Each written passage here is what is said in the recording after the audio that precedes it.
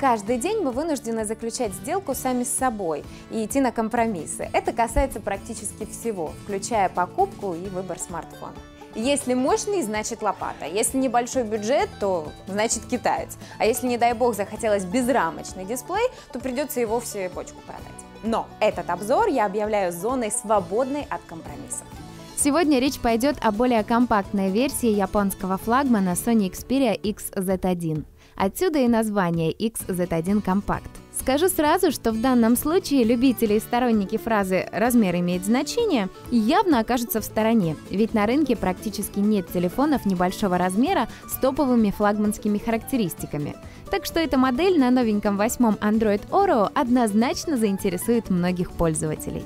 Но перед тем, как углубиться в технические детали, предлагаю рассмотреть XZ1 Compact поближе. В глаза сразу бросается фирменный дизайн смартфонов Sony. Это строгие и изящные линии корпуса, уже привычная многим кнопка включения со встроенным сканером отпечатков пальцев и знаменитый модуль камеры, о невероятных характеристиках которого мы поговорим чуть позже. Основным материалом корпуса, который уже традиционно для японских смартфонов защищен по стандарту IP6568, выступает армированный стеклопластик. Такое решение позволило достичь очень необычного эффекта. Тактильно ваш смартфон ощущается как металлический, но вес при этом как у пластикового.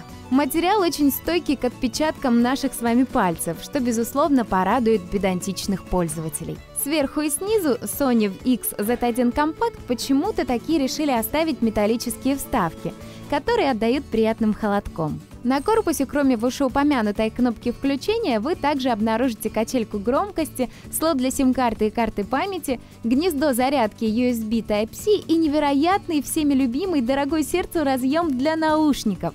Ребята из Sony, вам респект! Кстати, звук в наушниках телефон выдает действительно очень крутой.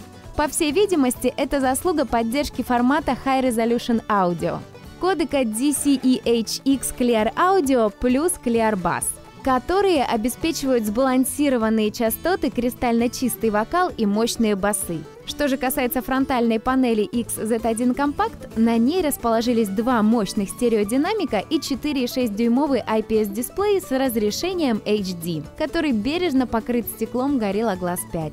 Уверена, многие сейчас кривились, мол, фу, HD разрешение.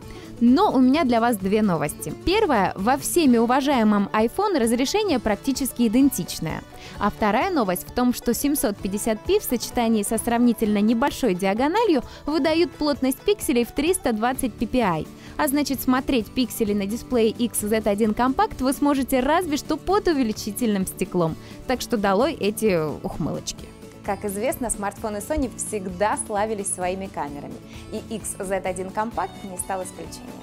Скажу честно, о камере этого смартфона можно с чистой совестью делать отдельный обзор, потому что она способна ну на просто невероятные вещи. Начну с главного, с основной камеры Motion Eye.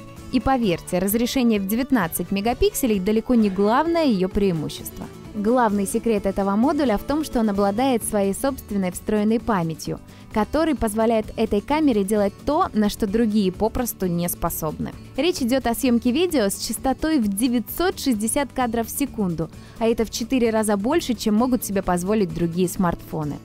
Правда, есть небольшая оговорка. Такое видео может снимать профессиональная камера, только при хорошем освещении. Так что правило простое. Если вдруг захотите посмотреть в деталях, как открывается бутылка шампанского, включите в комнате все лампы и только тогда открывайте. Следящий автофокус для съемки объектов в движении работает превосходно. Снимки действительно получаются очень четкими, даже в темное время суток. За снижение уровня шумов отвечает матрица Exmor RS.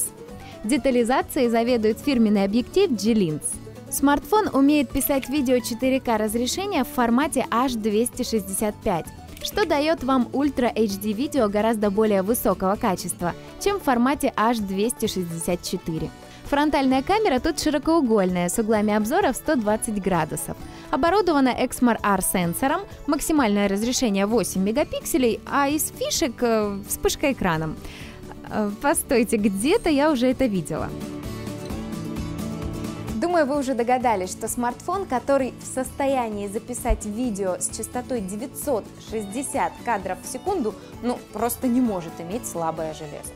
За быстродействие смартфона отвечает топовый Snapdragon 835 и целых 4 гига оперативной памяти, а графикой заведует чип Adreno 540. С такими характеристиками этому смартфону не страшна любая доступная на сегодняшний день 3D-игра. Быстродействие системы и вовсе на высоте. Для связи с внешним миром XZ1 Compact оборудован всеми современными интерфейсами. Это и Bluetooth пятого поколения, суперскоростной Wi-Fi с поддержкой сетей AC, чип NFC, который будет полезен в основном для бесконтактных платежей, и, конечно, AGPS и GLONASS. Как видите, я не соврала в начале обзора. Никаких компромиссов. Все мы знаем о больном месте каждого мощного смартфона. Да, речь идет о времени автономной работы. Однако XZ1 Compact и здесь показал себя с лучшей стороны. Встроенная батарея объемом 2700 мАч в сочетании с относительно небольшим дисплеем смартфона обеспечивает целый день работы. Конечно, не могу не отметить, что такой результат отчасти заслуга оптимизации энергопотребления в новом Android. Теперь немного дегтя. Да, для большинства этот нюанс покажется несущественным, но лично меня немного огорчило отсутствие беспроводной зарядки. Подведем итоги. XZ1 Compact обладает редким в современном мире сочетанием небольших габаритов и флагманского железа, что определенно является его достоинством. Это практически бескомпромиссный смартфон для тех, кто так и не смог привыкнуть к вездесущим телефонам-лопатам и хочет, как в старые добрые времена, управлять телефоном одной рукой.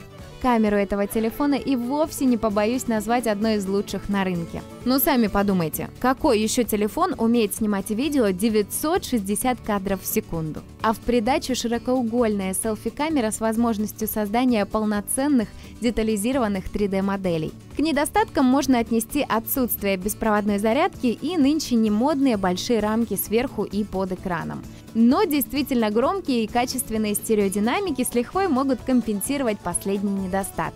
Если вам понравился этот обзор, то ставьте лайки и подписывайтесь на наш канал, чтобы всегда быть в курсе самых вкусных новинок из мира новых технологий. С вами была Катя, до новых встреч!